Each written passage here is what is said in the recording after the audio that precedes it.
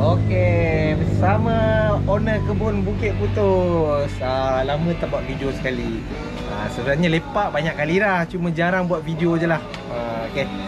Okey, so hari ni saya ada beberapa benda yang saya nak test. Ah, antaranya yang ni. Ah, biasa di kebun-kebun orang selalu pasang alam untuk menghalau binatang. Ah, soalnya berkesan ke tidak alam tu? Ah, dan lokasi saya nak test adalah di Kebun Pakcik Jamil. Okey, nak tahu keberkesanan dia, jom kita test dulu. Sebenarnya kita dah tahu dah kebesan tak berkesan sebab kita dah pakai banyak kali dah. Tapi kali ni kita nak test dia dalam bentuk rakaman pula. Okey. Kebun ni di kawasan bukit eh. So saya nak target saya ke atas sana lah. Dan kebun ni dia terletak kat uh, apa kiri kanan belakang ni semua hutan eh. Uh, jadi dia memang jadi tempat persinggahan hutan lah. Eh persinggahan haiwan liar. Ini perangkap keluluk Bang Net. Ha, okey. Nampak gayanya dah ada penghuni dia dah. Nampak tu? Dah ada keluluknya masuk. Eh? Ha, kat sana ada satu lagi. Jom kita tengok. Oh, yang ni pun nampaknya dah ada dah. Ah, tu dia. Dia bagus tau kalau kat kebun letak kelulut. Pasal kelulut ni dia ejen pendebungaan. Ha, Jadi kalau ada dusun-dusun pokok-pokok buah-buahan tu ha, Sebaiknya letak sekali ha, apa sarang kelulut. Ha, Mana nak dapat sarang kelulut? Ha, cari je dengan banet.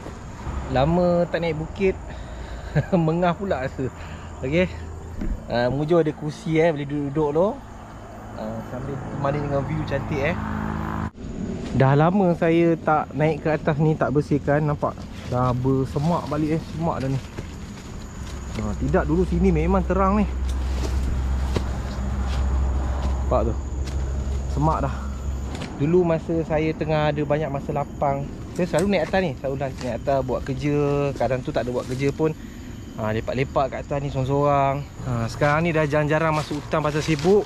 Badan pun dah agak naik sikit dah Dah sampai dekat atas ha, Tadi kat bawah agak bising Nak bercakap susah kan? Okey dekat atas ni baru kita sembang lah. Okey sebenarnya apa tujuan saya sebenarnya ni? Okey sebenarnya aa, Yang pertama sekali saya Sebelum ni saya dihubungi oleh pihak Temu.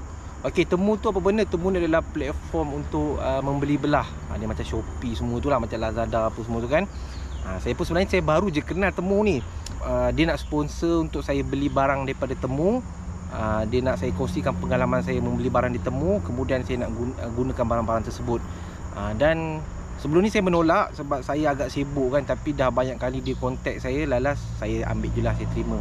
Tapi barang dah sampai saya pula tak buat, video. Ni hari ni saya nak kena selesaikan juga video saya ni.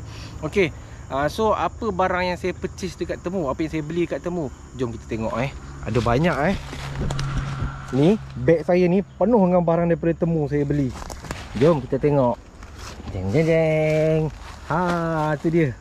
Okey ke semua barang dalam beg ni Ke semua ni adalah barang yang saya beli daripada temu. Ha, Jom kita tengok satu persatu eh. Okey yang pertama sekali saya beli ni Alam solar ni ah. Alam solar ni uh, Harganya di temu adalah uh, Ni saya letak harga RM75.99 Macam mana cara dia berfungsi? Uh, Bila ada pergerakan Dia detect ada pergerakan uh, dia akan mengeluarkan bunyi dan juga lampu lah. Item seterusnya adalah uh, lampu. Ok orang kata bila kebun kita bercahaya haiwan akan takut untuk masuk. Uh, betul ke? Ok item seterusnya. Yang saya purchase adalah lampu solar juga. Lampu solar yang jenis uh, jenis kecil macam ni lah. Yang jenis cocok-cocok kat tanah tu kan Kemudian ada empat biji kamera trap dalam sini eh. Semuanya empat-empat uh, yang berbeza. Saya nak test lah satu persatu. Alright. Okey, kamera pertama yang ni. Okey. Okey, harganya RM156.69. Kamera trap yang kedua. Ha, itu dia. Okey. Macam kamera yang ketiga. RM175.99 ah, Comel je. Kecil je. Nampak eh? Saya comparekan dengan tapak tangan saya. Kamera yang keempat. Sama juga eh? Yang ni saiznya kecil eh? Tengok tu. Kemudian dekat sini ada tali paracord Ok saya purchase juga daripada temu. Uh, Kalau in case saya nak pakai apa-apa Untuk nak mengikat Semasa pemasangan kamera Okey, apa yang boleh saya katakan kan? Barang-barang ni sebenarnya dia bukanlah barang yang original Okey, sebab kebanyakan barang-barang China ni Kebanyakan, bukan semua eh Kebanyakannya barang-barang China ni Dia kopi barang-barang yang sedia ada. Ha, Contohnya barang buatan US Dia kopi balik, dia keluarkan dengan harga yang murah. Sama juga macam tali perekod ni. Tali perekod ni kalau yang originalnya Harga dia lebih mahal eh. Lebih mahal. Quality of course lah. Macam tentang kamera track ni pun sebenarnya saya dah pernah pakai dah. Brand yang murah-murah saya dah pernah pakai dah. Saya dah tahu dah macam mana performance dia. Ha, dia okey boleh pakai, boleh pakai. Cuma of course lah dengan yang berjedama tu dia ada perbezaan kan. Okey jadi saya akan uh, pasangkan alam dulu lah. Okey rule pertama untuk pasang alam kena pasang dekat kawasan kebun. Tak boleh pasang dekat kawasan hutan eh. Tujuan kita pasang dalam kebun adalah kita tak nak bagi haiwan masuk ke dalam kebun. Ha, tapi kalau kita pasang dalam hutan tu itu dengan sengaja kita nak mengganggu haiwan hutan. Okey. Ha, cuma spot saya nak pasang tu sebenarnya saya saya plan nak pasang dekat sini tau. Dekat sini eh. Tapi halamak ai. Anda tengok sendiri. Tidak sini lapang eh. Tapi sini dah terlampau semak sangat dah. Okey, terlampau semak. Mungkin saya akan pasang dekat ni lah kat pintu ni. Okey, pintu hutan ni. Masih dalam kawasan kebun juga sini eh. Cuma satu je saya fikir eh uh, kebun ni dulu memang kerap dimasuki oleh haiwan lah uh, Tapi cuma sekarang ni dah kurang sangat uh, Ada dua sebab lah Yang pertama semenjak pemasangan alam Macam anda dengar sekarang ni Bunyi alam bawah tu kan okay. Semenjak pemasangan alam tu memang ya Memang kita boleh nampak uh, penurunan haiwan datang ke kebun okay. uh, Yang kedua Dekat uh, hutan ni Babi hutan dah banyak pupus eh Uh, jadi bila babi hutan dah banyak pupus secara automatik dah kurang dah kes babi hutan masuk dalam kebun. Uh, sebab babi hutan yang tinggal pun sangat sikit. Silap dah habis langsung eh. Uh, jadi jomlah tanpa lengah masa ada ke binatang tak ada ke kena pasang jugalah. Okey. Pasal saya dah janji dengan pihak temu nak buat tak buat-buat lagi saya memang sibuk betul tapi dia suruh saya buat juga. Uh, siapa suruh kan? saya dah kata saya memang sibuk. Uh, Okey, jom.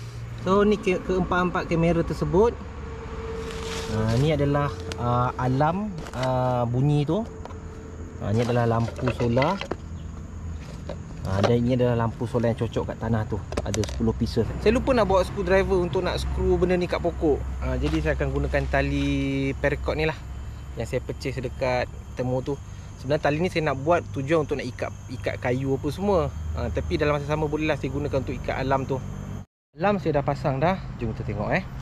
Ok sekarang ni ini adalah hutan eh. Hutan haiwan kemari untuk ke, kalau nak masuk ke kebun. Okey ini jalan untuk ke kebun.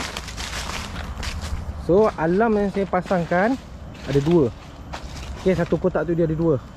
Yang pertama di sini okey di sini. In case haiwan akan turun jalan sini okey katakanlah haiwan turun. Tengok eh. Dia detect dia bunyi alam eh. Itu dia Dan satu lagi Saya letak di depan sana. Okey. Itu nampak itu border untuk ke kebun eh. Sama juga macam ni ni border untuk ke kebun. Haiwan akan datang Okey. Sama ada ni nak ikut sini ataupun sini. Contoh eh. Ah nampak? Dia detect Barang-barang semua ni disponsor oleh temu lah. Uh, dia bagi saya uh, apa nama limit. Saya boleh purchase apa-apa barang secara percuma. Dia bagi had lah. Uh, saya bukan saya nak promote suruh anda beli daripada temu uh, saya cuma nak perkenalkannya sebab saya pun baru je kenal. Saya tak boleh nak promote pasal saya tak tahu temu ni dia bagus ke tak bagus ke. So far untuk pertama kali saya beli ni okey macam tak ada masalah pun. Dari segi harga apa semua anda sendirilah kena nilaikan sendiri eh. Okey? Saya cuma kerja saya saya purchase barang daripada diorang saya perkenalkan website mereka itu saja so Alam dah pasang dua Saya kena cari pot untuk tempatkan kamera pula. Ada empat biji kamera eh. So yang mana yang patut saya pakai. Okey, dari segi harga Yang ni paling murah ha, Sampai dah yang paling mahal. Walaupun setiap kamera ni dia berbeza-beza setting dia Tapi bolehlah faham-faham juga kan. Okey, macam operation interval ni eh. Okey, yang ni operation interval ni maksudnya Selepas video pertama dia record Untuk sampai ke video kedua adalah 5 second paling cepat. Ha, Kalau kamera yang padu-padu dia dalam tak sampai 1 second Dalam 0.7, 0.3 second. Maksudnya video pertama lepas dia dah record untuk record video yang kedua dalam tempoh tak sampai 1 second dia boleh record. Uh, macam ni paling cepat dia boleh buat 5 second. Uh, dia punya strap dia ni uh, dia tali nylon ni nipis lah, lembut. Dan dia punya buckle ni uh, plastik. Uh, kalau untuk kamera tag yang berjenama ni dia akan bagi buckle besi. Lepas tu dia punya tali tu memang keras gila, memang kuat gila. Tarik kuat macam mana takkan putus. Kadang-kadang tu sesuatu barang tu dia murah ataupun mahal dia ada sebab dia eh. Dia bukan suka-suka mahal ataupun bukan suka-suka murah. Ha, tapi macam saya cakap banyak kali ha, boleh bukan tak boleh pakai, boleh je pakai.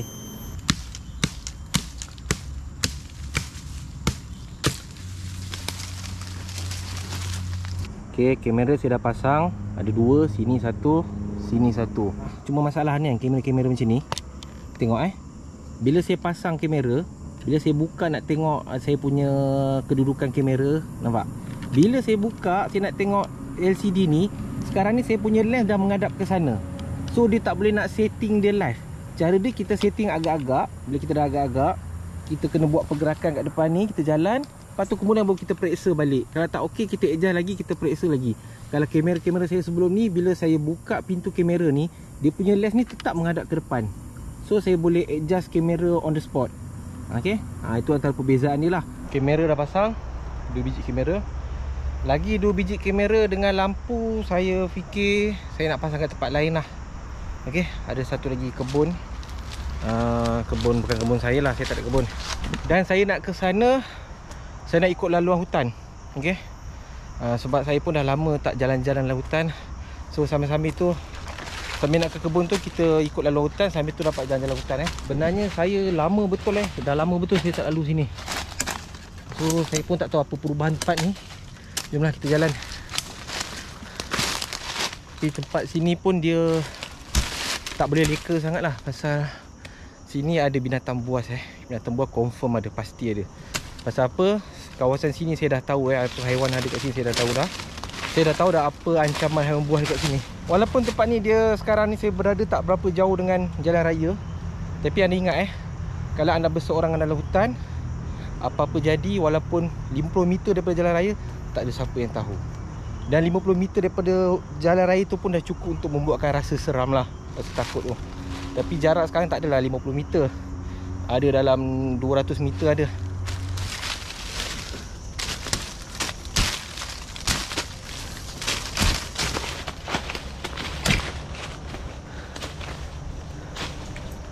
pokok tongkat li eh.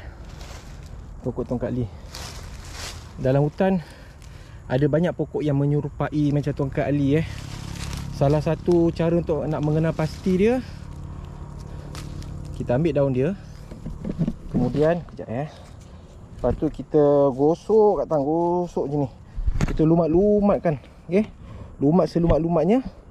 Kemudian bila kita buka daun tu dia tak koyak tak koyak. Itu salah satu dia lah. Selain daripada tu dia punya daun pun memiliki rasa yang pahit yeah? ha, tapi kalau orang yang dah pandai dia tak perlu mengenal pasti dia, dia tengok dia dah tahu dah itu adalah tongkat ali atau tidak. Yang saya cakap ni kalau kita keliru sama ada itu tongkat ali atau tidak. Lama tak berjalan hutan fitness menu, fitness pun dah ke laut eh. Huh. lepas tu badan pun dah naik dah. Makan je kerja kan. Huh. So Masa Jadi masa untuk aktif semula.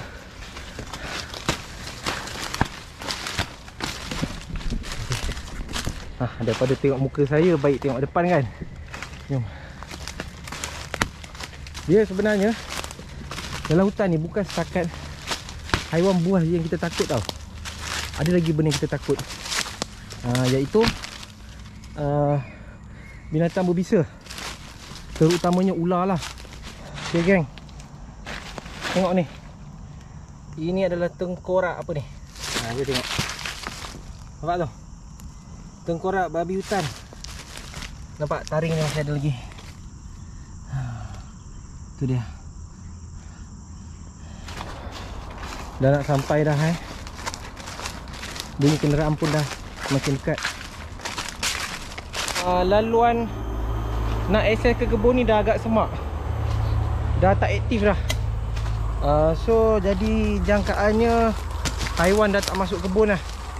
Ok Ataupun dia masuk kebun ikut laluan lain Cuba.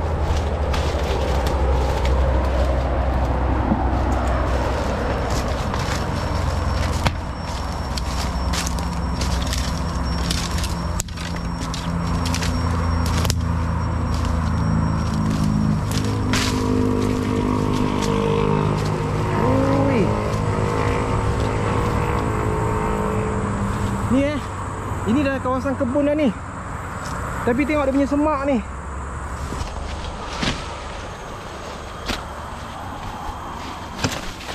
Saya belum ada masa free yang cukup eh Untuk nak bersihkan kebun ni.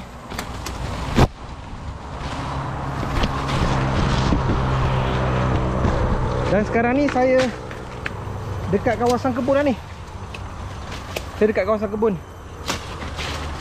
Tapi dia punya suasana dia macam berluka lah. Sepatutnya saya nak pasang dekat atas tu. Tapi disebabkan atas tu dah terlampau semak So saya beralih untuk pasang kat sini. Okay Yang ni kebun eh. Ni kebun. Okay Ni sempadan kebun.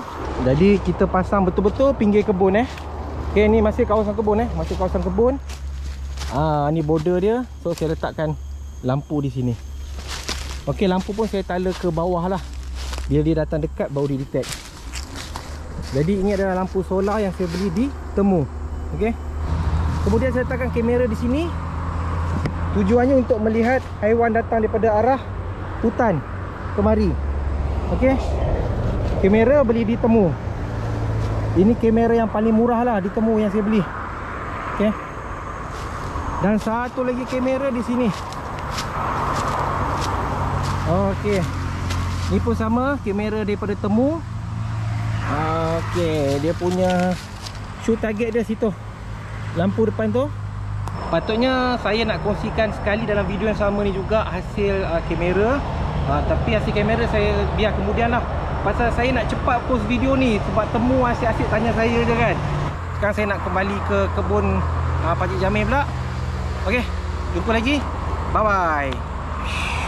Balik ikut jalan raya je lah tak ada nak ikut jalan hutan dah chocolate.